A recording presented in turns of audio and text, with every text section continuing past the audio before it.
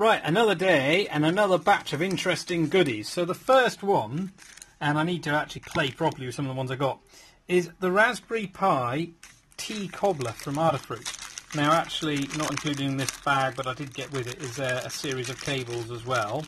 Um, but this is a GPIO breakout for the Raspberry Pi.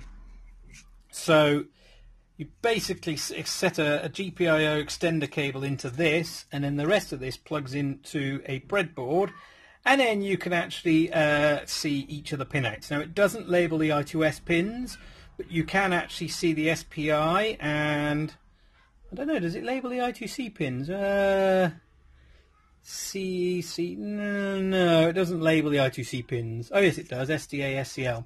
Um, and this is the Cobbler T Plus, which is for the Pi 2, Pi 3 and B Plus.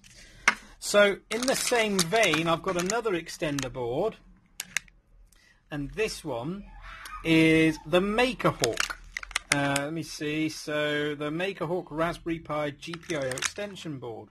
So this, uh, let's get it open. So we've got a few things. Oh, we've got lots and lots of jumpers here. Interesting. And we've got uh, a bunch of standoffs. And I wonder if what the jumpers are doing, you've got these wings to break it out, which look like they're just push-fit connectors. Uh, the GPIO, is that just a straight pass through there? So you could actually stack this with another board. I'm hoping that's what that is. And then here, A, B, C, D, E, F, G. One, two, three. Is this actually?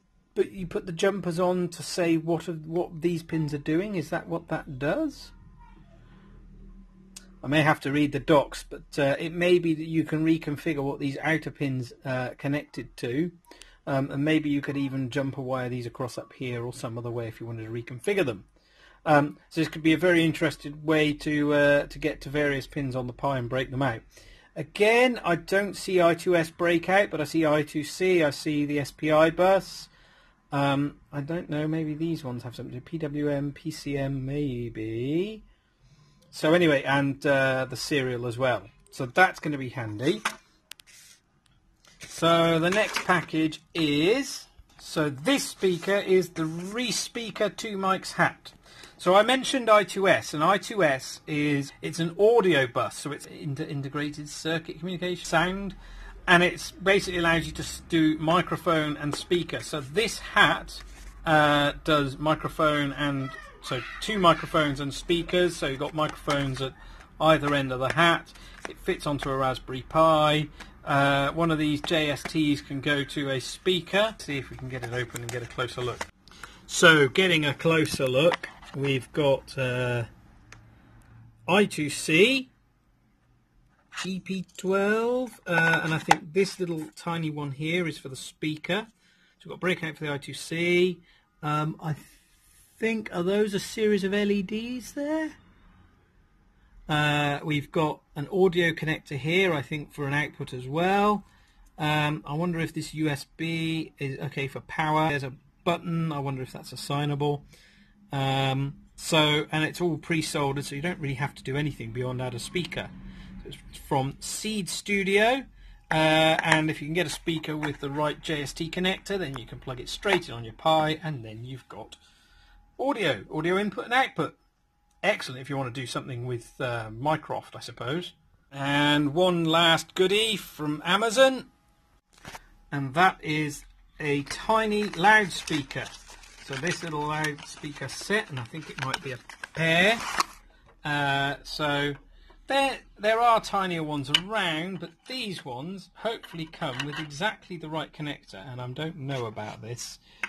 So if I am lucky and I've done it right, that is the right connector to go in the re-speaker. Now I'm doing this one-handed because I'm filming this with my phone so it makes it slightly tricky but that looks like it is the right connector so we could plug these straight in here and I could then slap this onto a Pi running Picroft or something and I'd then have myself a Mycroft.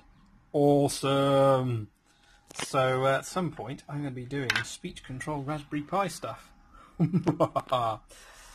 right, well, I hope you loved that uh, tiny little uh, bounty of items. So the Respeaker hat, the Cobbler T, the Maker Hawk uh, GPIO extender board, which uh, I'm going to have to find out a bit more about.